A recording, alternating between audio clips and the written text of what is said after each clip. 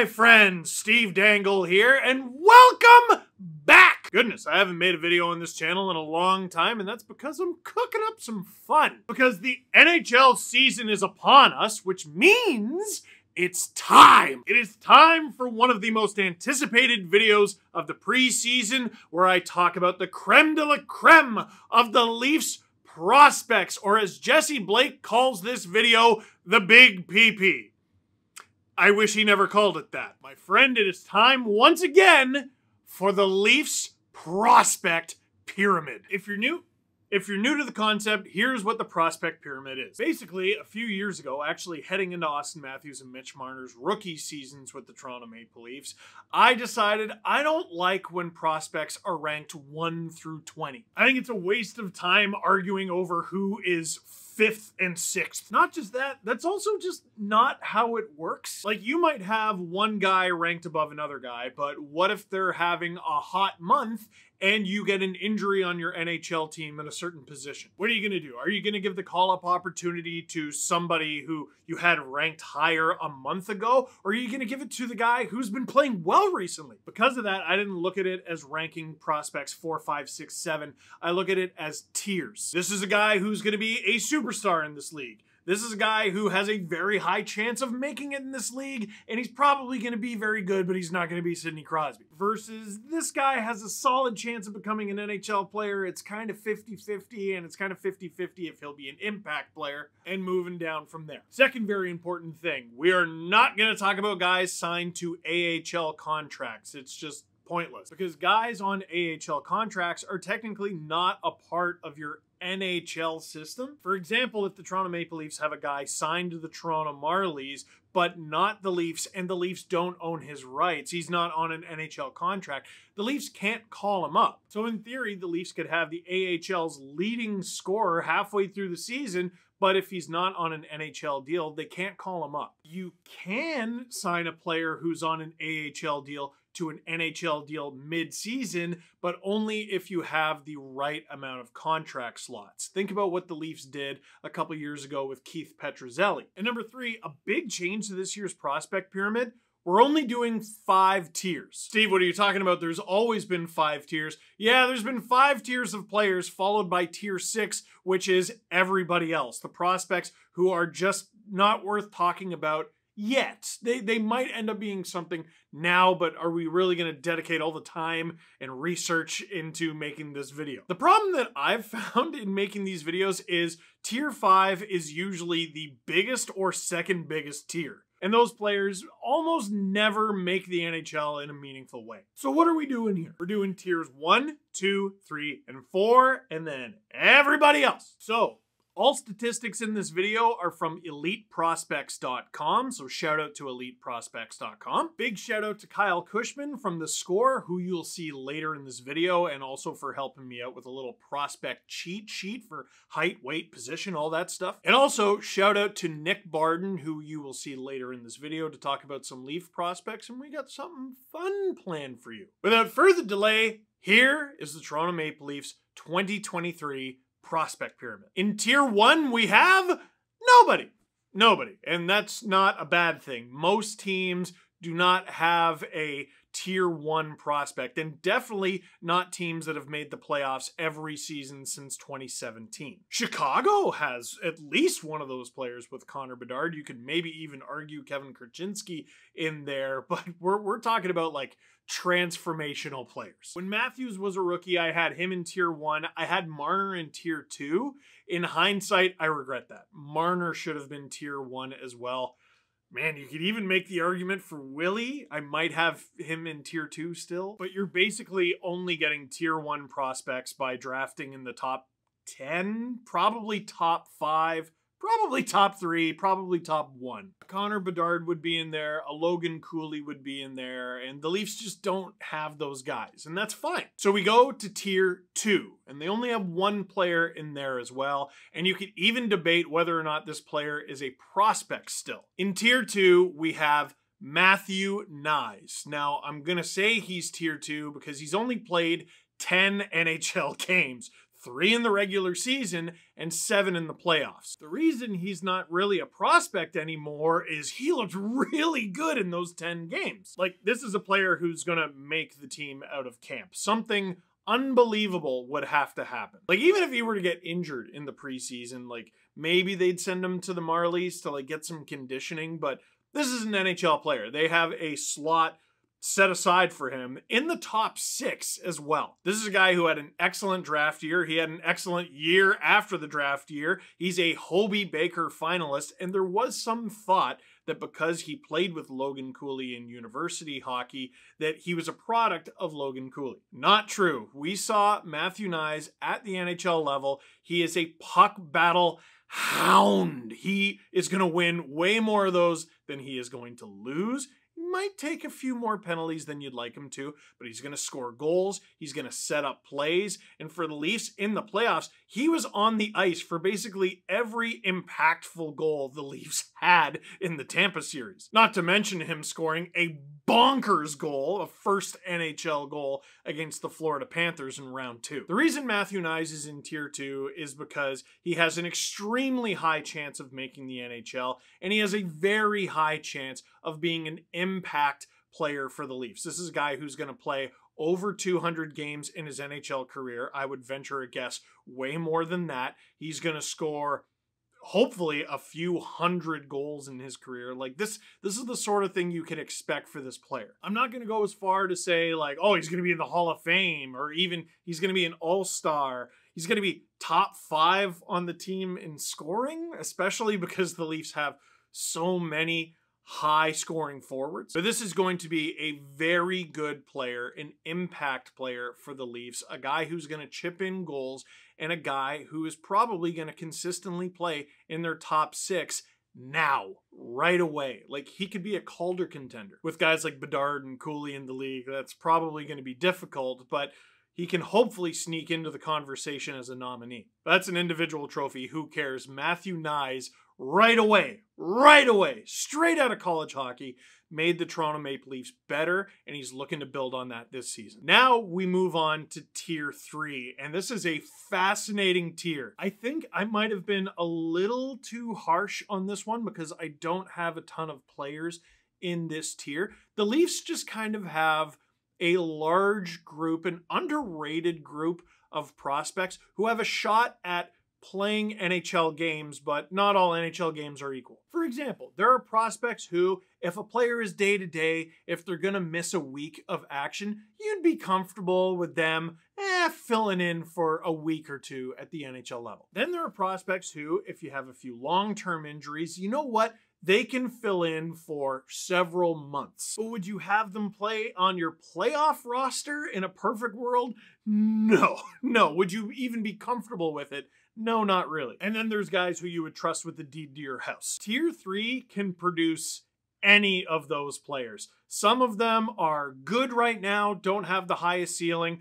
Others aren't that great right now, but they have a much higher ceiling. They're, they're the wild cards. For tier three, I want to start with a late first round pick from this past draft and a surprise, and now he's become the story of Leafs camp so far.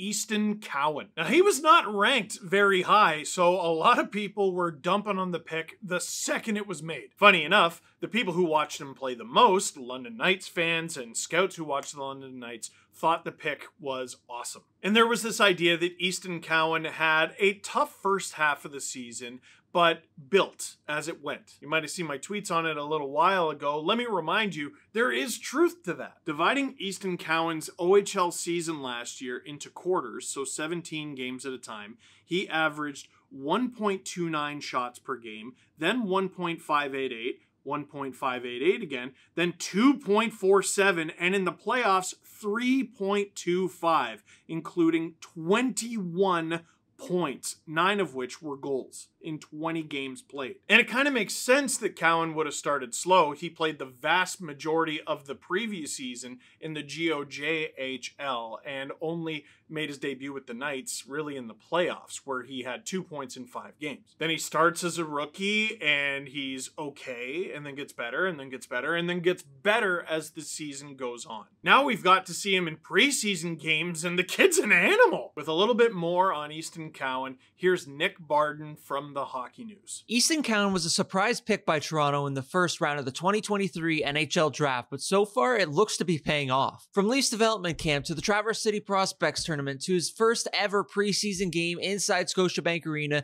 Cowan has shown his speed, his tenacity on the puck, the way he wears his heart on his sleeve, as well as his sneaky shot and just his motor on the ice that allows him to keep going and keep pushing opponents to get the puck from them. The 18 year old caught fire with the London Knights on the back half of last season and really hasn't turned back since. Matter of fact, he was so good in his first preseason game with the Maple Leafs that Sheldon Keefe had to keep talking himself out of playing Cowan too much. And when you get yourself in a situation like that with a prospect, it usually means that that player will turn out to be a great player in the future. And that's what I see from Easton Cowan. Thank you for that, Nick. And I would like to say Nick Barden is actually going to be joining LFR for this upcoming season. Once a week, Nick is going to be joining us for Marley Minute. I'm bringing it back. It hasn't been around for many years, but once a week, he is going to update us on the biggest ongoings of the Toronto Marlies within an LFR video. So, for example, disaster hits, Morgan Rielly gets hurt.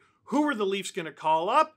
We'll ask Nick. Nick, who is always at Coca Cola Coliseum watching the Toronto Marlies and even talking to them. So look forward to that and look forward to Easton Cowan probably lighting up the OHL this season. Second player in Tier 3 and one of the more underrated prospects in the Leaf system Fraser Minten with the Kamloops Blazers. Minten has a later birthday when it comes to the draft, a July birthday, so he only just turned 19 years old this past summer. From his draft season to last season, Minten had a very small jump in assists from 35 to 36. He had a big jump in goals, 20 to 31, and a decent jump in points, 67 pause for laughter, up from 55. He's got decent size and room to grow. He wore a letter for the Kamloops Blazers last year this player is pretty good. He was the 38th overall pick in 2022, which means he's only six picks shy of getting picked in the first round. In order to keep the hype train going, though, he needs to have a big year with Kamloops or Maybe he gets traded. Either way, he's got to rip that league up. He's got to be one of the top scorers in the WHL. Last in tier three, he's still holding on. He's one of the most fascinating prospects in the Leaf system, Nick Robertson who is a forward, by the way. Did you know that? There was a time where I didn't. Nick Robertson's season started pretty exciting with the Toronto Maple Leafs last year. He was in the lineup. He scored an overtime winner, actually snapping that streak that the Leafs had where they couldn't win in overtime to save their lives. That turned into five points in 15 games at the NHL level. Eh. And if you're wondering what his numbers on the Marlies were, um, he played two games. He had two points in those two games, but he only played two games. Nick Robertson is in an extremely frustrating stage where could he play in the NHL? Yeah, I think most Leaf fans would be comfortable with him playing a little bit in the NHL. What about for long stints at a time? Eh, sure, it'd be nice to see him play any kind of professional hockey for long stints at a time. What about in the playoffs?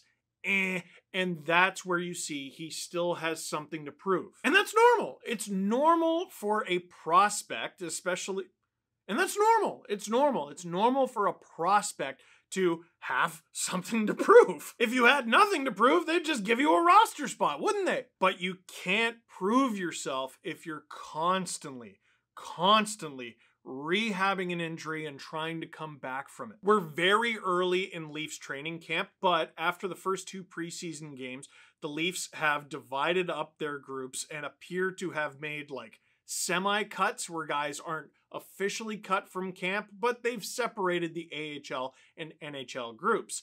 And one of the biggest observations from that Nick Robertson is still with the NHL group. There is a path where even without injuries, Nick Robertson could make this NHL lineup. I've talked about this many times, but there was an age group of prospects who was particularly screwed by COVID and the shutdown. And I thought Robertson benefited from that, and we now know with hindsight that he didn't benefit from that at all. The way he benefited from it is he got to play in the NHL and in the AHL earlier than he should have. But like in his final OHL season, in 46 games, he had 55 goals. No, I did not misspeak.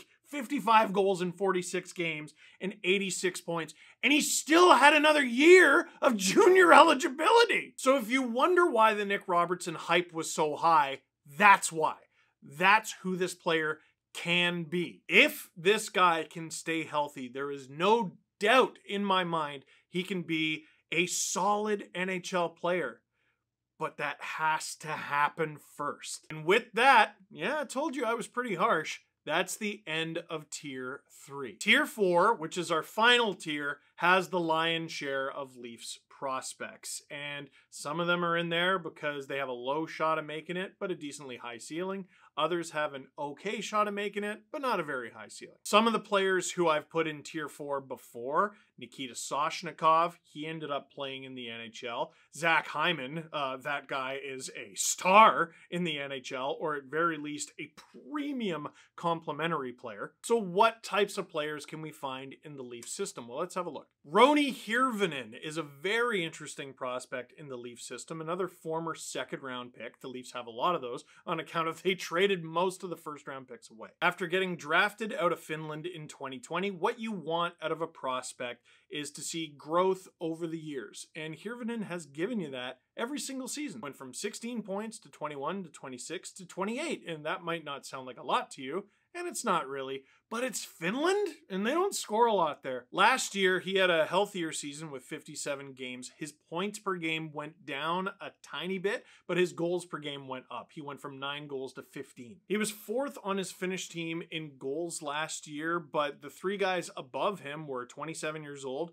31, and one was 23, but it's Kristian Vesalainen, who is a former first round pick of the Jets. Despite having four seasons in the Finnish league under his belt, Roni Hirvonen is only 21. And what is fascinating is he's finally going to have his first full season with the Toronto Marlies on North American ice. Might even get called up if he's good. Now, this didn't look like it was going to be a thing that was possible a few months ago because you might remember at a Leafs prospect tournament game, a blue and white game between exclusively Leafs prospects, uh, Dillingham laid him out. Like, knocked Hirvonen cold on the ice, and he was just lying there. And I thought, Andreas Johnsson, 2016. We're not going to see this guy for a while. And here he is in camp and everything. I, I can't believe it. You don't ever want to have to learn that lesson, but if you're going to, you might as well learn it early. We'll see how he does in his first season on North American ice for the left winger. Up next, this one's disappointing. Topi Niemela. We'll see how this goes because Niemela was incredible in Finland. He was an undersized defenseman playing in a grown men's league in Finland before he was even a legal adult. There was reason to be excited about this guy, especially because he shoots right. Then two seasons ago, in 48 games, he puts up 10 goals, 32 points. That's really good. Then last year, 18 points in 58 games.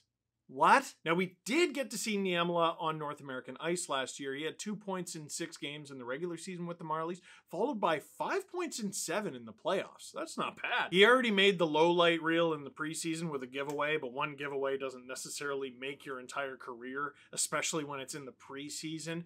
Niemela with a full NHL, uh, rather AHL North American season under his belt should be fascinating, but there's not much justification in putting him in tier three after an 18 point season falling from 32 in Finland. But that's just my take. Let's see what Kyle Cushman has to say. I think it's easy for Leafs fans to look at the Elite Prospects page or Hockey DB page of Topi Niemela and be down on him as a prospect. After all, he went from 32 points a couple years ago to just 18 points last year despite playing more games and being in a similar role in the Finnish Liga.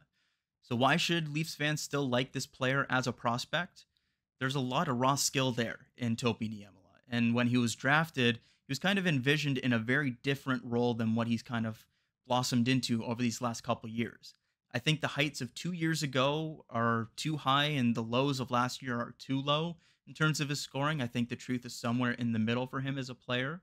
And after all, when he was drafted, he was kind of envisioned as this modern two way defensive defenseman who was good defending the rush and transitioning the puck out of the zone. When he was drafted after the draft in 2020, the Leafs director of amateur scouting at the time, John Lilley, described Niemela as having some of the best defensive instincts in the draft. So I think the ex- offensive explosion that we saw at the World Juniors and in 21 22 from Niemela uh, was maybe a little bit unexpected, I think is the way to describe it, and that he might not reach those same heights, but is still a very skilled player that is easily the best defensive prospect in the Leaf system. I think we saw that a little bit when he came over to North America at the end of last season. He took the power play one spot with the Marlies, jumped onto the top pairing with Jordie Benn in the playoffs, and looked great in that role, putting up a handful of points and a Marlies team that kind of disappointed in the playoffs. So for Niemela, I'm very excited to see what he can do this year with his first full year in North America and kind of see where he's at in terms of his game whether he can be a legit power play quarterback, whether he can be a legit driver of offense at five on five, and if he can handle some more physicality in the smaller rink here in North America. But make no mistake, I know the numbers look the way that they do, but Topi Niemela is still a very good prospect as a right-handed shot who has very good puck moving skills, and I think he's somebody that will kind of find his game again this season in the AHL and be on track to make an NHL debut potentially in a couple years' time. Next, this guy's sneaky. Nick Moldenhauer, the forward from the Chicago Steel, which was one of the favored programs of Kyle Dubas, had a really good season last year 30 goals and 75 points in 55 games in the USHL. And he wasn't even the top scoring player on his team. Top scoring player had 11 more points than him, and you might know the name Max Celebrini. And if you're like, Max Celebrini, why do I feel like I know that name? That's because that kid just might go first overall at the 2024 draft. With more on Moldenhauer, here's Nick Barden. Nick Moldenhauer is one of Toronto's most underrated prospects, at least to me. Nearly a year and a half after the Maple Leafs selected him in the third round of the NHL draft, I consider the 19 year old to be one of Toronto's top prospects. Moldenhauer brings a lot of strength to his game, whether it be from his skating, his shot, or even his puck protection, and that often gives him the edge over his opponents. After scoring 30 goals and 45 assists in just 55 games last season with the USHL's Chicago Steel, Moldenhauer is now off to the University of Michigan. His goal there is to play a more pro style game, and for Maple Leafs assistant GM Hayley Wickenheiser, she wants to see him dominate at that level. To me, he could be a year or two out from going pro, but that really all depends on how his game translates to the NCAA level. But if there's anything to be said, it's that the Maple Leafs got a good prospect in the third round with the Mississauga, Ontario native. I'm fascinated to see what this guy eventually does at pro. He's going to have a big year. He's playing with a big name player. Next, we have Ty Voit. And man, this guy is the most Kyle Dubas pick that has ever existed. He's extremely small from a pro standpoint. He's five foot nine, and there are five foot nine guys in the NHL, but he's listed at 151 pounds on HockeyDB. Kyle Cushman's cheat sheet was a little kinder. It had him at 157. And you look at that information and you go, oh, Kyle. And then you look at 105 points in 67 OHL games and you go, oh, Kyle. But my favorite thing about Ty Voit and his journey isn't that he's a small player that puts up big numbers. It's that when the Leafs drafted him in the fifth round in 2021, he hadn't played a game that season because there was no OHL to play in. Since not playing that season and then getting drafted, in 134 OHL games, he's put up 185 points. He had 105 points with the Sarnia Sting last year, and the closest teammate to him only had 82 points. Another player had 79. No one else scored 50 or more. And of course, Ty Voit followed that up with 16 points in 16 games in the OHL playoffs. Like, this guy can play. At 20 years old, he's probably not going to get taller. There's a chance he could put on at least some weight. Who knows what this guy is going to turn into because he seems well above his peers at the OHL level, but the Leafs drafted him because they want him to be a good pro. Next up, we have another forward with Ryan Tverberg. Average size, 5'11", buck 87. He went from 7 points in 14 games with the University of Connecticut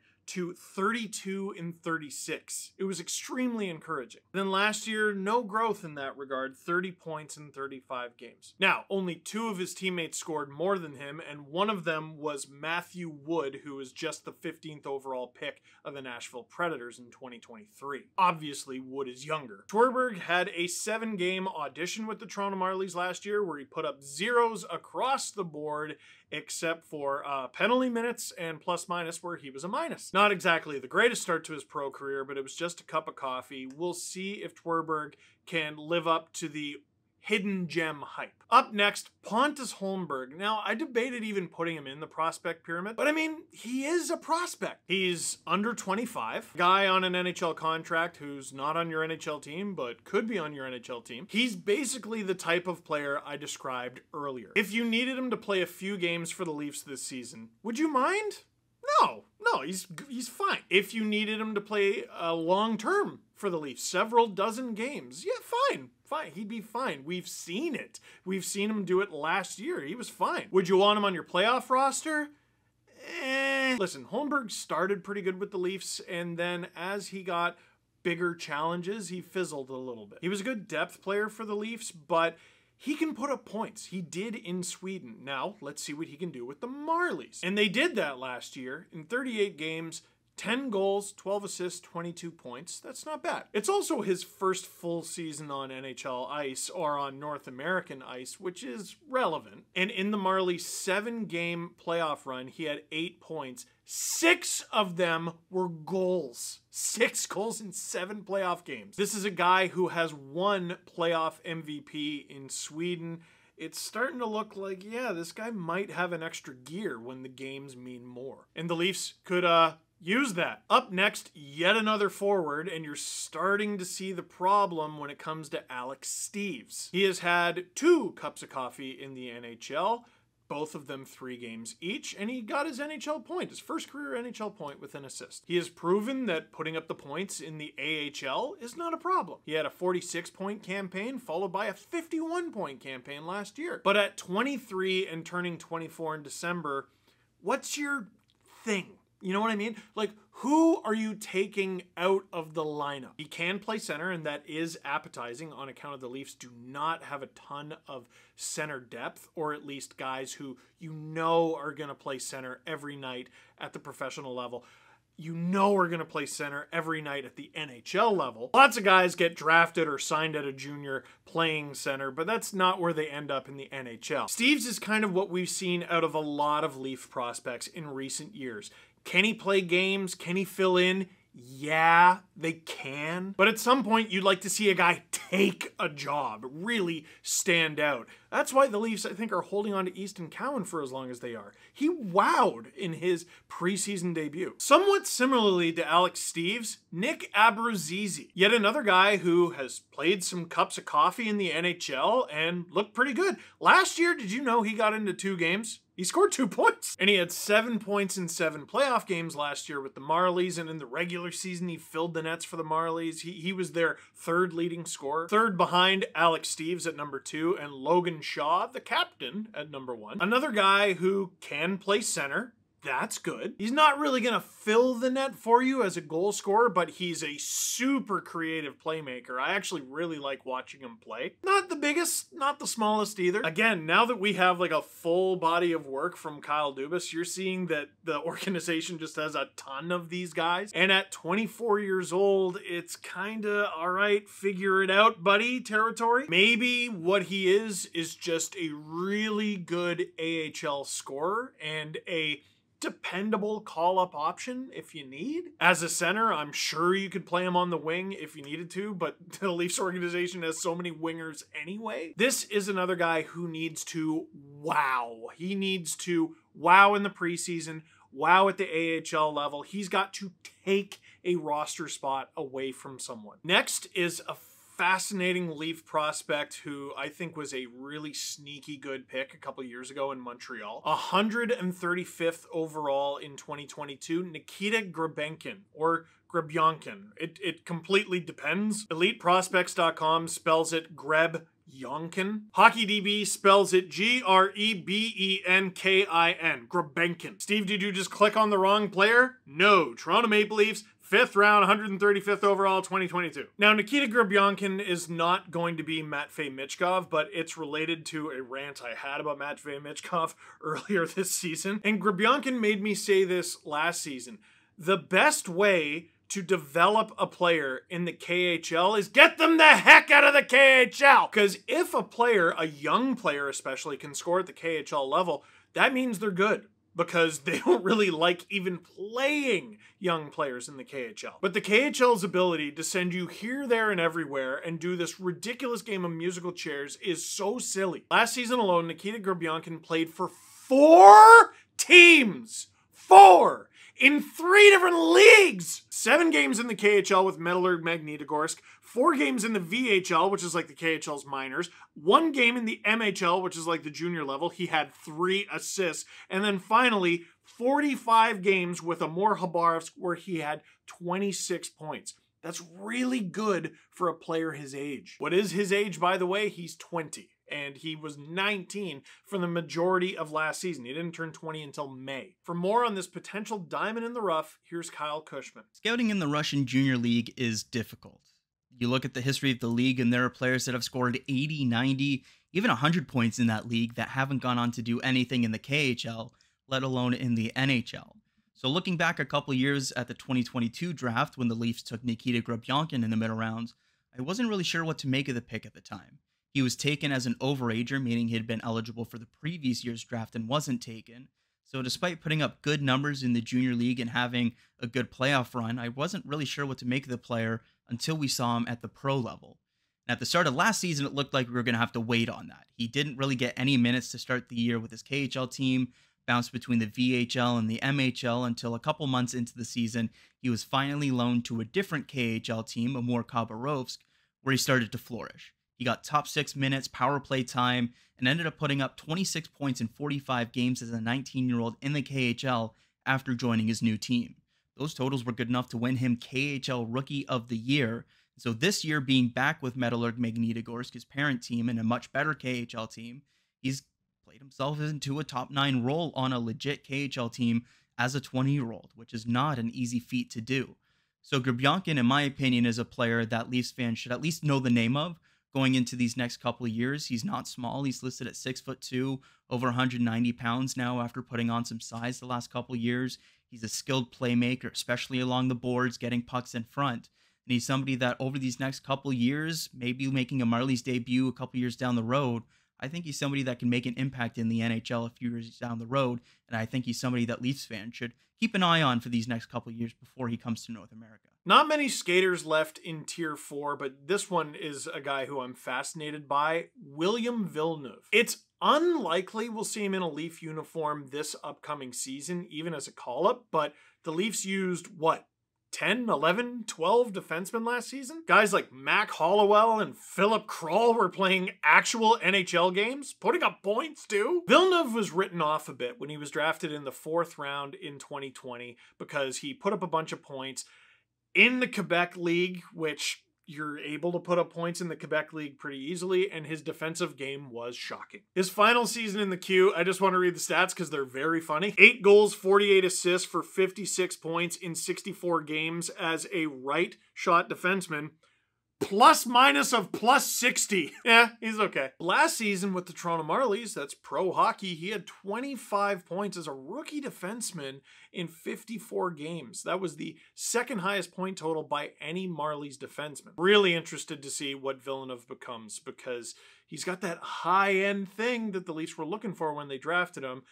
Otherwise, he just won't work out at all. Everyone uses TJ Brennan as this example for like a guy who is really good at the AHL level, but it never translates to the NHL.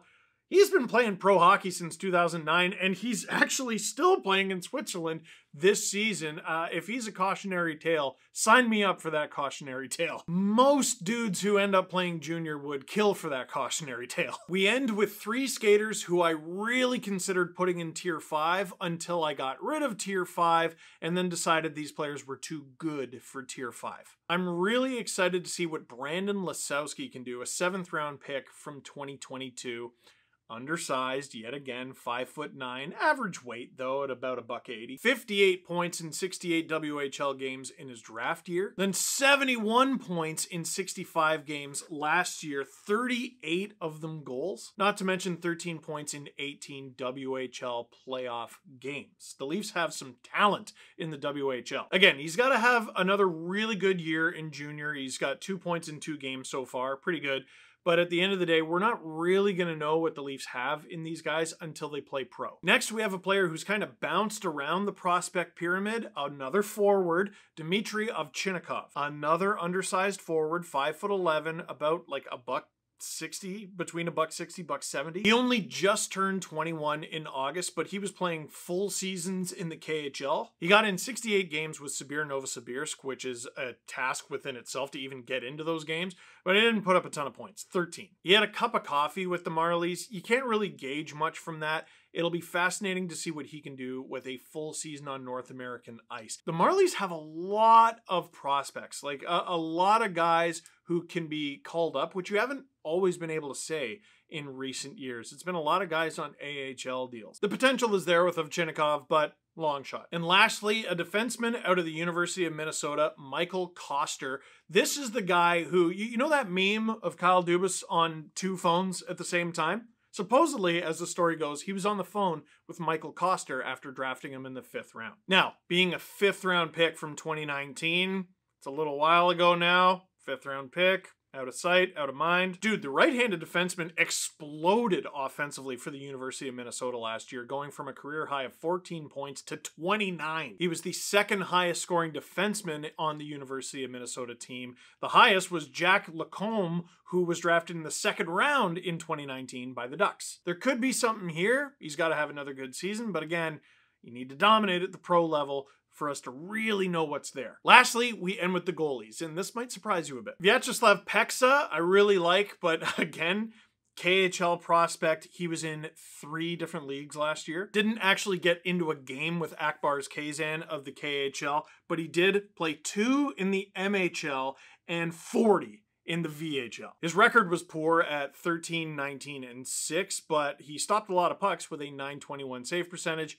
you can't control the team you're on, but it sure looks like this guy is uh, uh, potentially going to make the jump to North America. Unfortunately, with the Ivan Fedotov situation, the KHL ripped up the transfer agreement that they had with the NHL, and it's really muddied the waters on who can and can't play where. It was leaked on social media. It looks like Peksa has his Toronto Maple Leafs pads. And on EliteProspects.com, Peksa's 2023-24 team is listed as the Marlies. So we'll see what happens there. Up next, another KHL goalie, Artur Akhtyumov. I've liked this guy from the moment the Leafs drafted him. 943 save percentage in almost 40 VHL games. That's so stupid. But true to form, he's already played in two different leagues this year.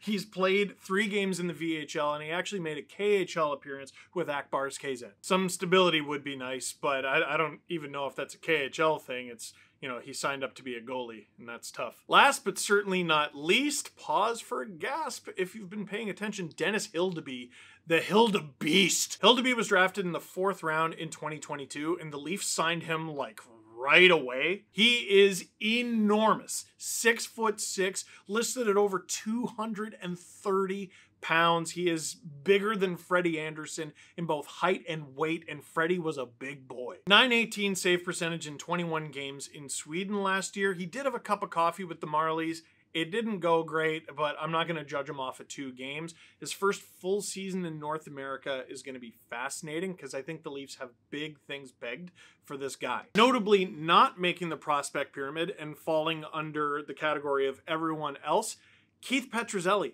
who is a really interesting story, a decently high draft pick of the Detroit Red Wings, and he doesn't sign with the Red Wings, and the Leafs get him, and then they end up signing him to an NHL contract, and it sure looks like he's fallen behind some of his teammates, doesn't it? At the end of the day, he's on an NHL contract. He could be called up. The Leafs might have to call upon him, and he could rebound. But the Leafs actually have quite a few goalies, and I'd be surprised if they didn't hit on at least one of them. And that's not including Joseph Woll, who I wouldn't count as a prospect on account of he's the team's backup goalie right now. So, what did you think of this year's prospect pyramid? What do you think about going down from six tiers to five? I think it's a lot neater. Is there anyone you would have put higher? Anyone you would have put lower? But for now, I got a lot more preseason work to do. So that is it for this one. Thank you very much for watching. Click like if you like this prospect pyramid video. Click subscribe if you really liked it. Tell all your friends. Hey, subscribe to the SDPN YouTube channel. We have been making banger after banger after banger. This summer, this off season, this preseason, we are cooking, baby.